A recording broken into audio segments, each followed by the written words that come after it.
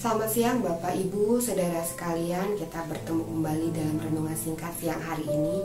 Dan sebelum kita mendengarkan firman Tuhan, mari kita berdoa. Tuhan, Allah Bapa kami yang bertata dalam kerjaan surga yang kudus Terima kasih Tuhan pada saat ini Engkau kembali memberikan kesempatan Untuk kami mendengarkan sebagian dari firman-Mu dan Tuhan pada saat ini Tuhan siapkan hati dan pikiran kami Juga buka hikmat akal budi kami Tuhan Biarlah kami mengerti Tuhan apa yang kau kendaki dalam kehidupan kami. Siapkan hati hambamu Tuhan untuk menyampaikan Tuhan Apa yang kau kendaki Tuhan bagi umatmu. Pimpin kami Tuhan di dalam nama Tuhan Yesus kami berdoa.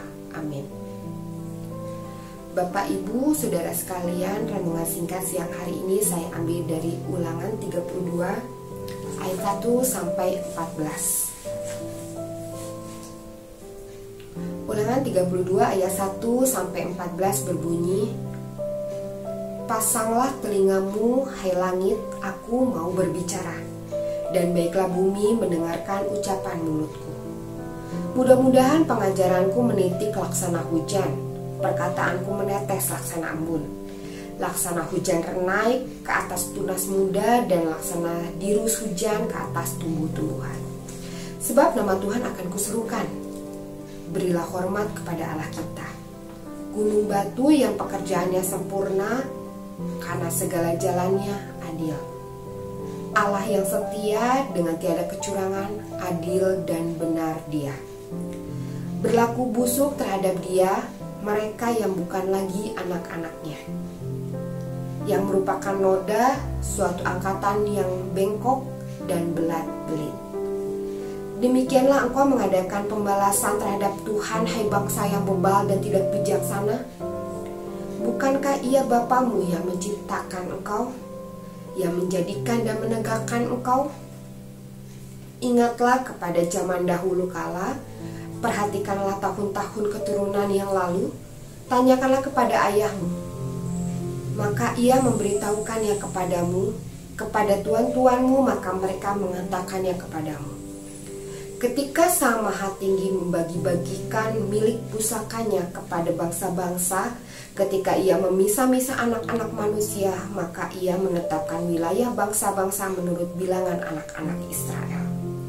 Tetapi bagi Tuhan ialah umatnya, Yakub ialah milik yang ditetapkan baginya. Didapatinya dia di suatu negeri di padang gurun, di tengah-tengah ketandusan dan auman padang belantara. Dikelilinginya dia dan diawasinya, dijaganya sebagai biji matanya. Laksana Raja Wali menggoyang-goyangkan isi sarangnya, melayang-layang di atas anak-anaknya, mengembangkan sayapnya, menampung seekor, dan mendukungnya di atas kepaknya. Demikianlah Tuhan sendiri menuntun dia dan tidak ada Allah asing menyertai dia. Dibuatnya dia berkendaraan mengatasi bukit-bukit di bumi dan memakan hasil dari ladang. Dibuatnya dia menghisap madu dari bukit batu dan minyak dari gunung batu yang keras. Dadi dari lembu sapi dan susu-susu dan susu kambing domba dengan lemak anak-anak domba dan domba-domba jantan dari basan dan kambing-kambing jantan dengan gandum yang terbaik juga darah buah anggur yang berbuih engkau minum. Bapak Ibu sekalian, renungan singkat siang hari ini saya beri judul Tuhan itu setia. Kalau kita mendengarkan bacaan tersebut tadi kita bisa e, menyimpulkan bahwa bacaan tersebut merupakan eh, gambaran Musa terhadap penyertaan Allah kepada bangsa Israel. Bagaimana Allah menyertai bangsa Israel layaknya Raja Wali dan menjaganya bagaikan biji mata Allah. Sungguh hal yang luar biasa. Bagaimana Allah menyertai bahkan mengangkat derajat bangsa Israel yang seperti kita ketahui bangsa Israel berada di dalam perbudakan bangsa Mesir. Tapi Allah menyertai bangsa Israel. Allah tidak meninggalkan bangsa Israel, bahkan menaikkan derajat bangsa Israel dari bangsa yang berada di bawah perbudakan menjadi bangsa yang begitu mulia begitu merdeka dan berdaulat. Bahkan Allah memberikan tanah Kanaan kepada bangsa Israel. Di sini juga kita melihat bagaimana Allah tidak meninggalkan bangsa Israel meskipun Allah tahu bangsa Israel melakukan hal-hal yang busuk di mata Allah. Tapi tetap Allah tetap tidak meninggalkan bangsa Israel. Allah tetap menyertai bangsa Israel. Karena bangsa Israel adalah begitu bangsa yang dikasih oleh Allah. Bapak Ibu Saudara sekalian, marilah kita melihat begitu besar penyertaan Allah dalam diri kita. Allah itu setia, Dia tidak akan meninggalkan kita sedetik pun. Ia tidak akan melepaskan kita dari pandangannya selayaknya Raja Wali. Ia tidak melepaskan pandangannya dari anak-anaknya.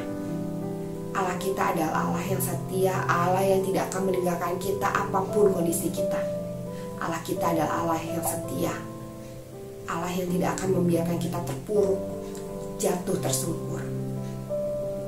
Kita bersyukur Bapak Ibu Saudara sekalian untuk penyertaan Allah ini dan mari kita berdoa. Tuhan, terima kasih Tuhan untuk penyertaan-Mu dalam hidup kami, untuk apa yang Engkau berikan dalam hidup kami. Terima kasih Tuhan, Engkau menjagakan kami Tuhan, layaknya burung Raja Wali. Engkau melindungi kami anak-anakmu di bawah kepak sayapmu. Engkau tidak akan membiarkan kami seorang diri.